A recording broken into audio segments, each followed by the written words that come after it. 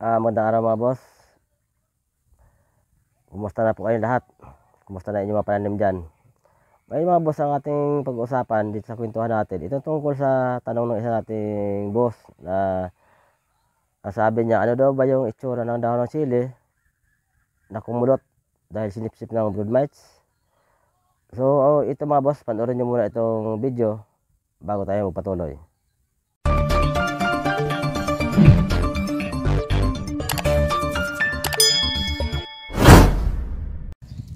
So ito mga boss yung ating actual video sa siling kulot.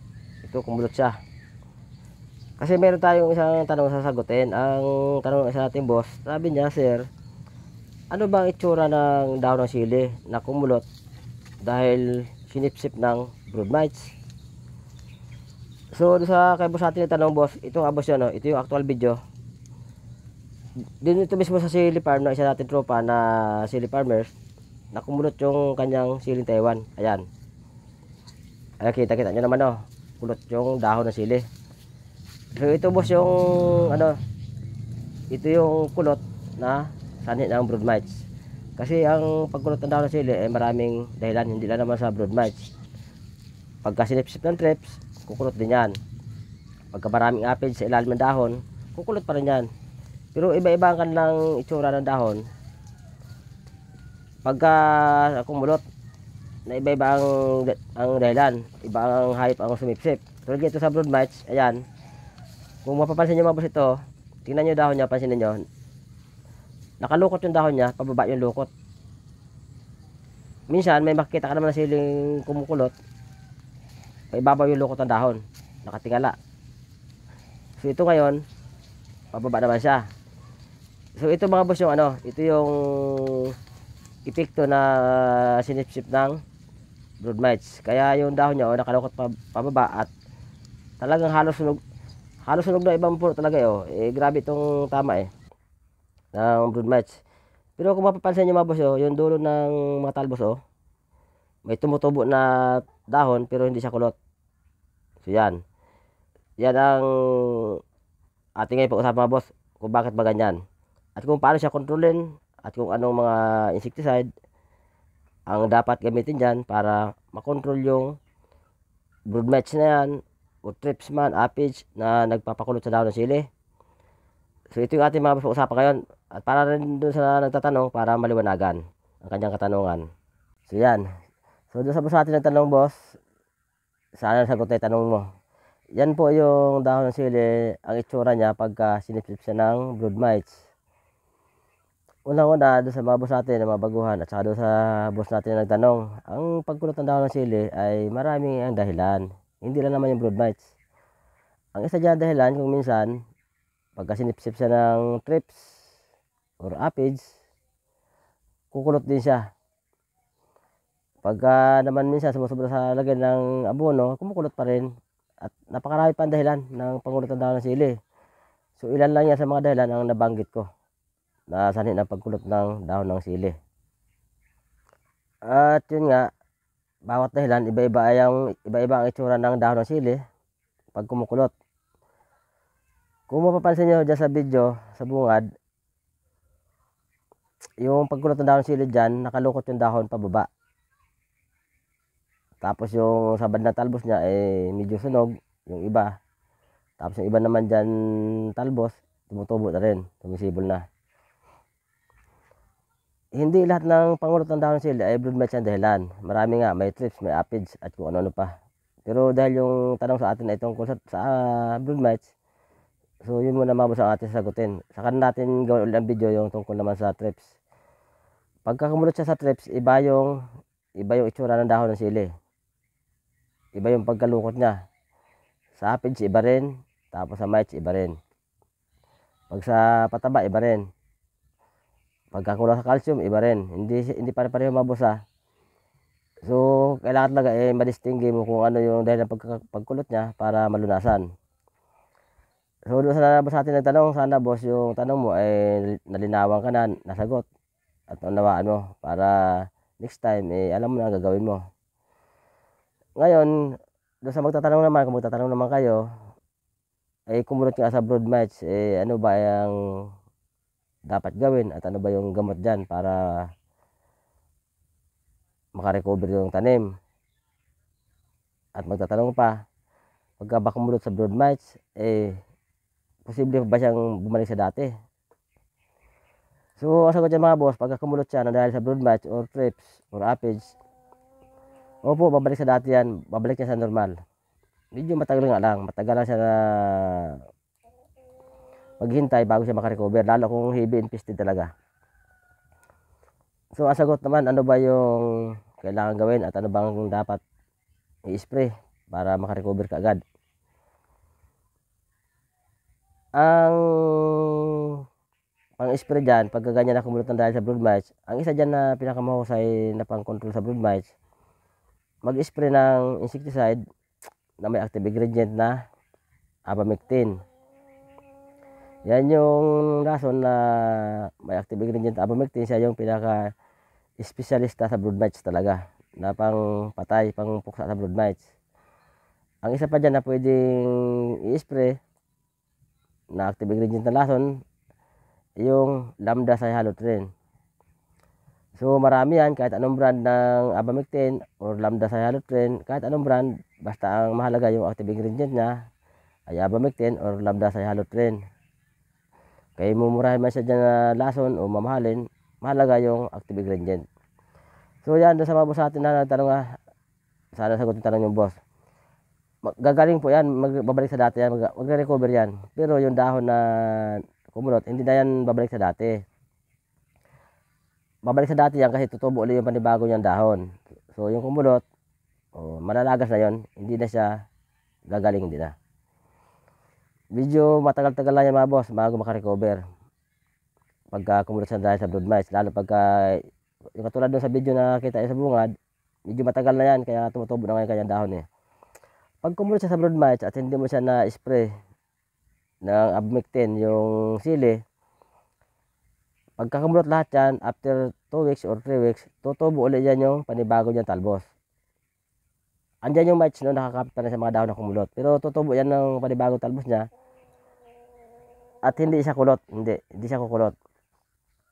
So, pag lumalapad na naman dahon niya, silapad na naman ng 5 pisong coins, ang dahon ng silin bagong tumubo, o pupuntahan naman ng brood match yan, lilipat na naman sila doon, akyat sila doon na naman sa bagong dahon, o sisipsipin naman nila, kukulot na naman uli yon o hanggang sa masunog uli. O pag nasunog uli yan, ganun uli, tutubo uli, sisipsipin uli, walang katapusan yan habang panahon.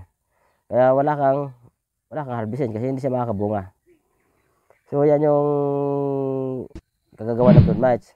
Ngayon ang iba diyan sabi nila pagka tulad nung may nagtanong, sabi ni sabi eh, ano daw ba yung lunas diyan sa nagkulot? Eh, sabi naman ng isa sumagot, sabi niya, spray mo ng pulyar. Para gumaling. eh, hindi, hindi po ganun. Pagka kumulot niya sa andahan sila dahil sa brood match, hindi spray ng pulyar ang solusyon. Ang una nyo gawin, patayin nyo muna yung brood match. Kontrolin nyo muna. Puksain nyo. Spray kayo abamectin niya o kaya lambda sa halotrin. O pag napatay na yung ano yung brood match, saka ka mag-spray ng pulyar. Para yung dahon na tumubo na bago, mabilis siya lumaki, mabilis lumapad, para mabilis siya makarecover at makabalik siya sa pag pam, sa pamumulaklak ulit. Huwag mo unahin yung pulyar kasi pag pinulyar mo muna yan at andun yung brood match, edi tuwang tuwa yung brood match na naman. Dahil tataba yung dahon ng sili, eh, hindi ko alam kung tumatamis yun o anong lasa yan, ba't gustong gusto ng brood match sipsipin. Hindi ko may paliwanag yan kung bakit gustong gusto ng brood match sipsipin yan. Basta yan, eh, pinulyar mo yan, yung dahon ng sili tumutubo, nandun yung brood match buhay, eh gustong gusto nila. Sigurado after 3 days yan, kulot na naman. Kasi matamis siguro lasa nun eh. Ang katas ng daon ng sili. Pagka may abono. So mali po. Dapat patayin mo muna brood, brood mites bago ka mag-spray ng pulyar para ang recovery mabilis. At sabayan mo na ng karga ng abono para mabilis talaga siya. Makabalik agad siya sa dati para makapamulaklak uli. So, makakapamunga na naman yung sili. Mayroon kasi nagtanong, eh ano ba ika, ano ba gamot diyan sa ganyang kulot? Ay kulot yan ang blood match nga. Sanhi nga, sunod nga yung talbos eh, nagkulay kalawang eh. Sabi isa, ipunggos yan. Isprayan mo sabi niya na ano, fungicide. Ayaw, di ma. At, yan eh, kakalat namin eh. Kakalat namin eh, punggis na rin eh. eh kahit patambakan mo ng fungicide sa puno, yan, hindi yan gagaling. Kasi hindi naman punggos eh, hindi naman sakit yun eh. May brood match nga eh. Natatawa ko sa mga sumasagot sa ta- tanong eh. hindi po yan, hindi po ganyan ang pag-treat na ano, yung brood mites. Patayin yung brood mites bago kayo mag-alaga ng sili para sigurado mabilis ang recovery. After 3 weeks to 1 month, eh, kung na recover na yan. Makita mo, maganda yung dahon yan, unti-unti na nalagas yung dahon ng kulot, o, kasabay na magbubulaklak na siya. 100% yan, pabalik sa dati yan. Basta broad match talaga yung sanhin ng pangulot. Katulad doon napanood nyo sa video sa bungad. Kasi yan dyan sa buwasin natin na nagtanong sa atin na, nag- na talagang nag- nag-PM siya, boss, yan yung sagot ng tanong mo, sana. Huwag kang maniwala sa sasabi na na pagka ay wala na luna. Bunutin na itapon.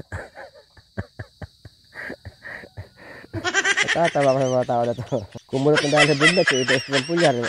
Na makarecover. Kasi isa naman, eh, ito ng fungicide. hindi, hindi po, uh, hindi yan kaya ng, hindi kaya pagalingin yan ng mga sinasabi ng mga organic pulyar. Hindi yan kaya. Niwala kayo. Ginawa ko na yun dati. yun daw, organic pulyar with insect repellent pang araw yun eh. hindi yan kaya, hindi yan. Subukan nyo. At pag ganyan ang ginawa nyong treatment sa sili nyo may brood match, sigurado maghihirap kayo kabili ng pulyar na. Hindi nyo mapapagaling yan. Hindi balik sa dati. Tested ko na yan. Ginawa ko na ilang, ilang, ilang bis ko na ginawa yan. So, doon sa boss natin ng tanong, sana boss, eh, sa video ito, eh, nasagot yung tanong mo at may natutunan ka. Huwag kang maniwala sa sa sabi-sabi na bunutin agad. Hindi, hindi ganun hindi. Pagka broad match na problema mo, eh, ano yan, sisiyo lang yan. 101% babalik sa dati yan. Basta napatay yung brood mites. Spray ka na ng polyar. O, ah, pagka ganyang hibin pisted at bagot lagay dahon, sigurado wala yung bulaklak. O, spray ka ng polyar na pang vegetative. Kahit na sili mo dyan eh, ilang buwan na yan, kahit limang buwan na sili mo. Kasi pag nasunog yung talbos at dahon, talagang ano yan, mawala talaga yung mga bulaklak niyan, hihinto yan. Dahil yung talbos niya masisira, masusunog eh. Pag kukulay ka yan, yan yung dulot ng brood mites. So, patayin mo, tsaka mo spray na pag nakita mo sumisibol na naman yung panibagong dahon niya, pag wala ng brood mites, saka ka mag-spray ng na- yung pulyar na pang vegetative stage. Katulad ng ginagamit ko na yung triple 19 na crop giant. So, yan, yan yung ginagamit ko pang vegetative stage. Kasi wala naman siya bulaklak na malalagas, eh, wala naman siyang, wala siyang bulaklak at nasunog ay talbos eh. O, sabayan yung abono. Nung normal lang ginagamit natin abono. So, after 3 weeks to 1 month, makita nyo, oh, recover na siya, maganda na. At siyempre, pag ah, magaling na siya, oh, weekly ka na mag-spray ng mga abamectin. O kaya lambda para hindi na siya uli magkulot. Pag, yung next natin yung mga bastapika, yung tungkol sa trips naman, trips yung pangulot. Iba kasi ang itsura ng dahon pag kumulot sa trips, iba, magkaiba. Kung yun sa brood match, nakalukot pa ba ang dahon sili na nagkukulay kalawang yung talbos, ay sa trips iba, hindi ganyan. Iba rin sa aphids. Kaya subaybayan nyo lang mga boss next video natin at gawa natin ang video yan. Ihiwalay natin kasi ang topic ngayon, yung, yung tanong lang naman ito ng kapwa natin farmers na ano ba itsura daw ng ano. Daw na sili pag nadali ng broad bites. Para hindi siya maguluhan sa ating sagot. Para madali mo ba at, at talagang ano, maintindihan ng mas maayos, mas, ma- mas malinaw. So yan na sa mga boss natin na hindi pa alam yung itsura ng sili pag nadali ng broad bites. So ito na mga sagot sa tanong nyo. Meron pa, meron pa tayo isang tanong na sasagutin next video natin yung ano naman. Hindi ko alam kung first time ito sa sili farmers eh. Ang tanong niya eh, si Rica ano ba yung ano itsura ng siling tinamaan ng lapnos?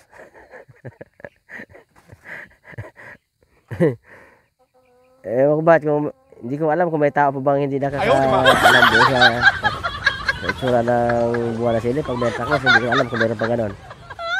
So yun naman mga boss yung ano ha, yung lunasan natin sa sunod nating video. At hindi pwede sabay-sabay. Isa lang mga boss, may nakalaban. yung ganyan naman tayo mga boss, babay muna. Abangan yung next video. Bye-bye.